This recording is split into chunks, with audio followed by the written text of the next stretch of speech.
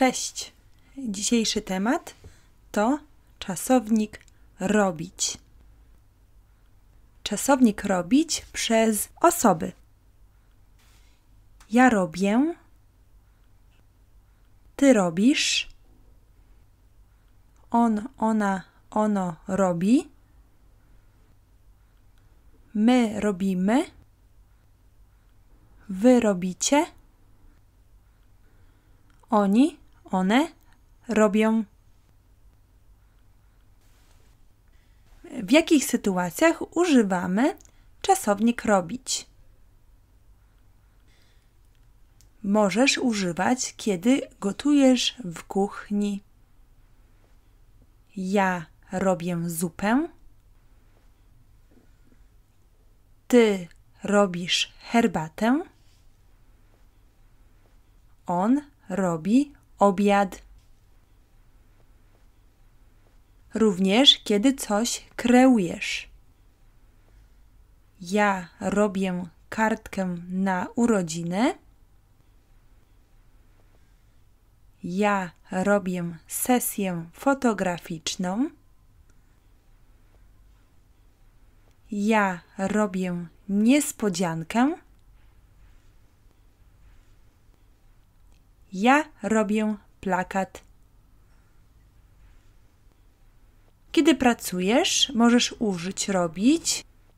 Kiedy mówisz ogólnie, co robisz nieszczegółowo. Ja robię raport. Ja robię plan.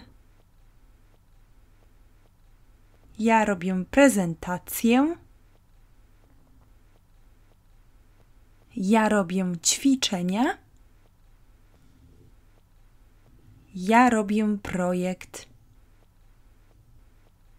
Czasownik robić należy do biernika, czyli po czasowniku robić rzeczownik jest w formie biernika. Liczba pojedyncza.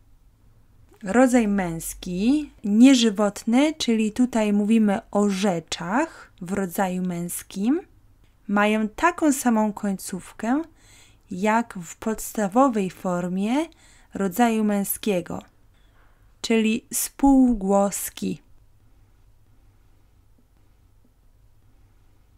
Rodzaj żeński ma końcówkę e,